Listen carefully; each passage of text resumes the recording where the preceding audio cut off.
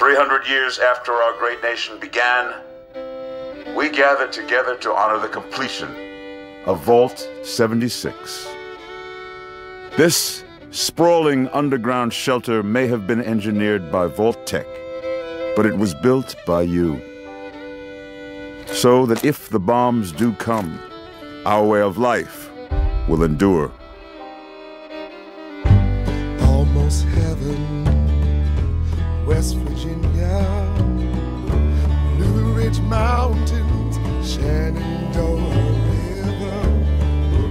Life is all there, older than the trees, younger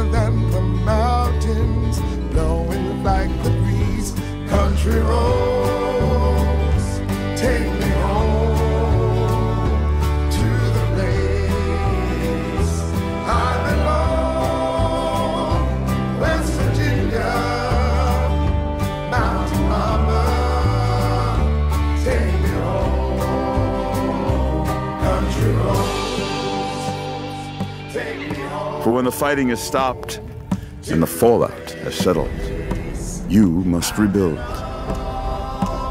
Not just walls, not just buildings, but hearts and minds, and ultimately, America itself.